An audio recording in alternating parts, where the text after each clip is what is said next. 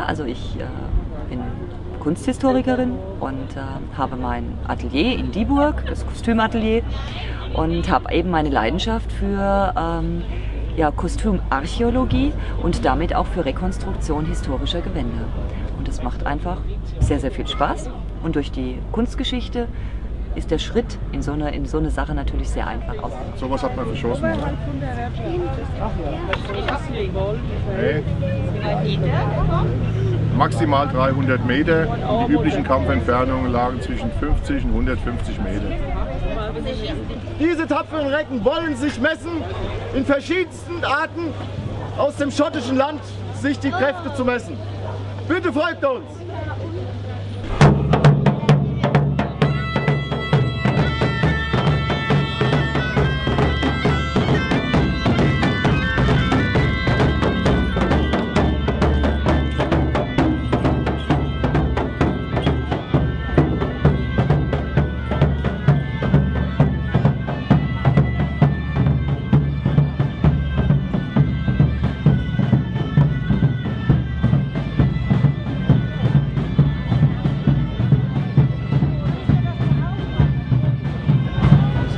Eigentlich schon, in der Jugend eigentlich an, immer mit Rittern gespielt. Früher andere Kinder mit, mit Cowboys gespielt. Unser eins hat dann irgendwann angefangen mit Ritterburgen zu spielen, mit Ritterfiguren.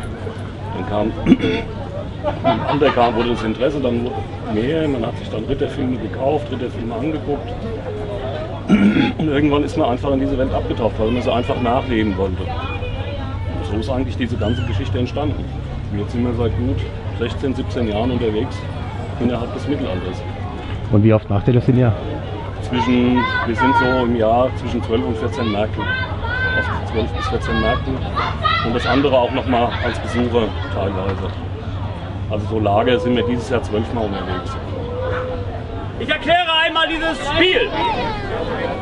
Ziel des Spieles ist es, seinen Gegner mittels eines Strohsacks vom Baumstamm zu hauen. Zwei, eins, auf die Murmel!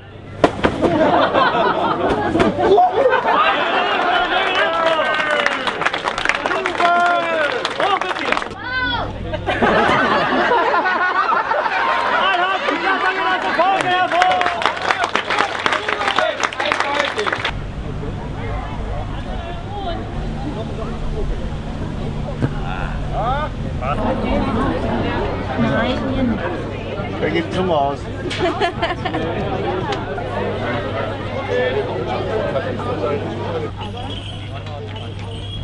Also wir gehen halt gerne über die Märkte, weil uns das Spaß macht und ähm, Gleichgesinnte findet, so als Hobby halt.